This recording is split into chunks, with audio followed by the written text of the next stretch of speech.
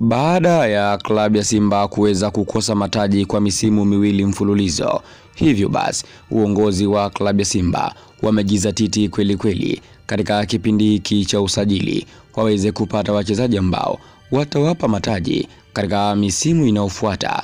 Hivyo basi uongozi wa klabu ya Simba umeanza mazungumzo na winga hatari kweli kweli kutoka pale katika klabu ya Al Hilal Omdurman. Hapa namzungumzia Maccabi Lilepo. Twende sote mwanzo mpaka mwisho tuweze kufahamu undani wa habari hii, na ikiwa ndio mara ya kwanza kutembelea katika chaneli hii, usisahau kubonyeza alama ya kusubscribe. Mimi jina langu naitwa Mbwile Musa.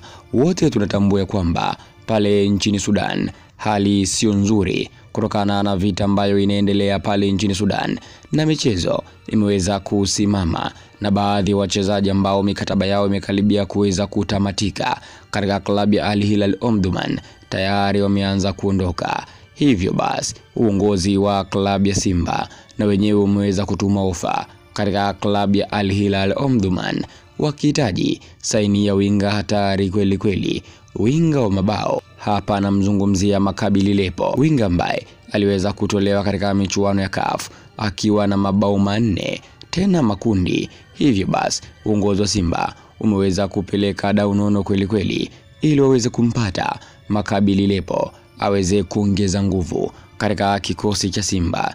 Ifahamike kwamba Makabili Lepo ni mchezaji wa bei ghali kweli kweli, kwa sababu wao Al Hilal Omdurman waliweza kumsajili kwa bilioni moja. Lakini pia Makabili Lilepo aliwahi kunukuliwa akisema ya kwamba ligi ya Tanzania ni ligi bora kweli kweli, lakini pia kitu ambacho anakipenda nchini Tanzania ni kuwa Tanzania ni nchi ambayo ina amani na ligi yake inapendwa na watu wengi. Hivyo basi anatamani sana kuja kuchezea vilabu vya Tanzania, na wakala wa Maccabi Lilepo aliweza kujinadia kwamba ikiwa klabu itaenda sawa na makubaliano ya klabu ya Al Hilal Omdurman, pengine Makabili Lepo atatua katika klabu yoyote nchini Tanzania, lakini Simba ndio anahusishwa zaidi. Je, unaona Simba kuweza kunasa saini ya Makabili Lepo ama la? Unaweza ukaniandikia mtazamo wako hapo katika sehemu ya comment.